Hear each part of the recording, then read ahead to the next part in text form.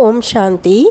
நவராத்திரி சமயத்தில் பத்து நாளைக்கு பத்து விதமான அம்மனோட ஸ்வரூபம் ப்ளஸ் அந்த நேரத்தில் நாம் ப்ராக்டிஸ் பண்ண வேண்டிய ஸ்வமானங்கள் இப்போ வந்து இன்றைக்கி வந்து நாம் ஜெகதம்பா மா ஜெகதம்பா தாய் ஜெகதம்பா அப்படிங்கிற ஸ்வரூபம் ப்ராக்டிஸ் பண்ணணும்.